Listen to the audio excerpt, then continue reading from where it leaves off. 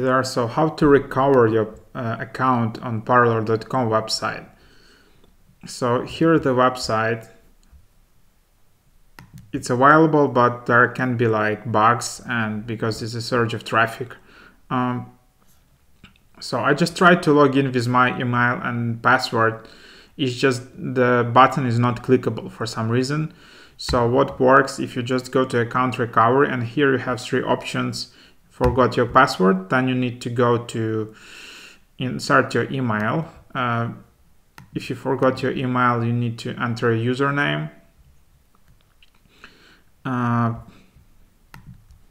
and then if you forgot your username, probably it will be complicated to, but you can just reach out to support at parler.com and that's the way to get back.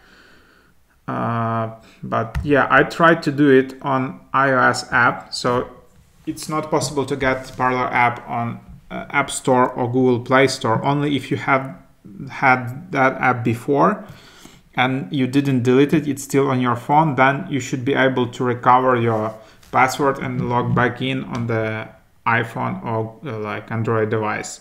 So again, just type your email to recover a password. Then you will receive something like that uh, password uh, reset uh, email. Just check your junk folder, your trash spam folder, and then you just click on the link and uh, you can reset password uh, and you should be back in into the app. Uh, so it seems to work